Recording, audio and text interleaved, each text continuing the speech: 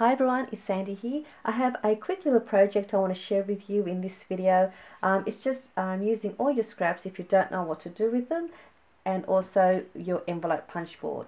So what you can do with your scraps, um, you can make these cute little file tabs for uh, your cards or inserts for your mini file folders um, or for your mini albums and you can also make these cute little bag toppers as well for your packaging.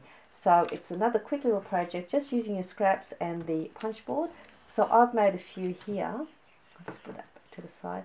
So I've just um, cut some up and made a few of these little tabs and I can have these on hand if I want to use them in my um, on my journaling cards or any of my um, for my file folders and for my packaging.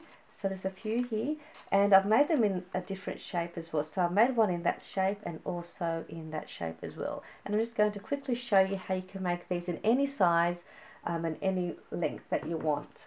So I'm going to bring out my punch board down here. These are just some of my scraps so you can make them at any length so no particular size as long as you're able to fold it in half and it will be able to slide in into the um, notch at the width that we need it to be. So with this one here, I think this one measures two inches by, um, this one measures uh, one and three quarters by three inches. And all you do is you just want to fold your paper in half. That's, uh, that's really the main thing is to be able to fold it, which I'll just show you here now. So just folding that in half.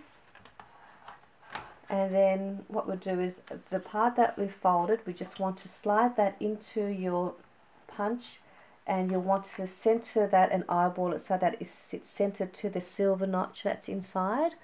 And then we're just going to press that down and then you will create that look.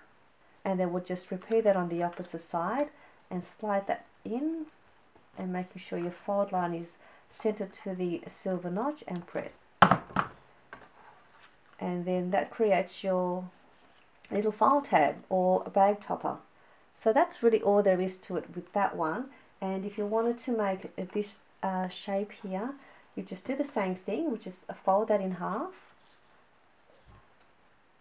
so this is just a great little uh, fun little project. If you don't want to make projects and you can just make these using all your scraps. So again um, sorry uh, we fold that in half. And then this part here on the edge we're just going to slide that in onto the edge of your paper onto the edge of the green notch. And we just press that down. And that will create that look. And then we just turn it over again on that side sliding that in there on the edge and pressing that down. And that will create that look.